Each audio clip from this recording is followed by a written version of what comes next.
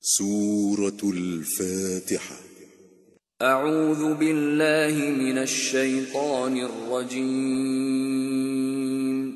بسم الله الرحمن الرحيم. الحمد لله رب العالمين. الرحمن الرحيم. مالك يوم الدين. شروع اللہ کا نام لے کر جو بڑا مہربان نہایت رحم والا ہے۔ سب طرح کی تعریف اللہ ہی کے لیے ہے جو تمام مخلوقات کا پروردگار ہے۔ بڑا مہربان نہایت رحم والا انصاف کے دن کا حاکم۔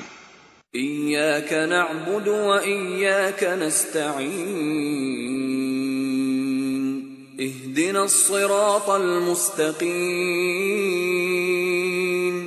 صراط الذين أنعمت عليهم غير المغضوب عليهم ولا الضالين.